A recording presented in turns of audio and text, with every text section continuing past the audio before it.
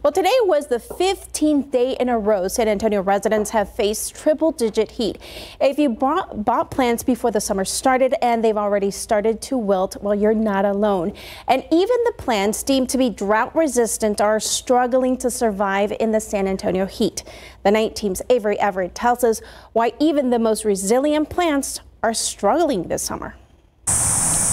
I'll just enjoy my single bloom for the meantime until it puts on another round. In a garden like Haley Giambalvo's, you might expect to see more flowers growing than just this one. Once we got into several weeks 100 degree temperatures, things just really kind of shut down a little bit in terms of blooming. Her garden is full of drought resistant plants. I've been trying to just add more of those. But high heat across San Antonio is hindering any growth. So because we haven't had any rain recently, there's no flowers on it. Even with a watering schedule out at Rainbow Gardens, drought-resistant plants are struggling this summer. It's been exceptionally hot. We've had almost no rain this summer, and so it's really challenging for these plants to survive without irrigation. But Brandon Kirby says a bloom doesn't define a plant's success. You kind of have to reframe what's a, what's what's beautiful. And over time, he says more of these plants could actually help change the city's water usage. We can and do have water issues here in San Antonio, and drought-tolerant plants can help mitigate some of that damage that you know the development has done and, and the lack of rain, the drought that we've experienced the last couple of years. That's the goal of Giambalvo's garden. You have to have that patience. She's keeping her hopes high. We're gonna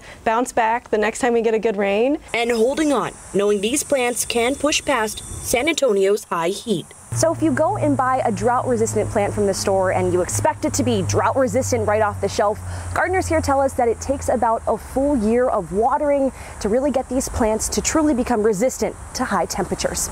Avery Everett, KSAT 12 News. Keep up to date with all of San Antonio's top news, weather, and so much more by clicking the like and subscribe buttons below. And once again, thanks for watching KSAT.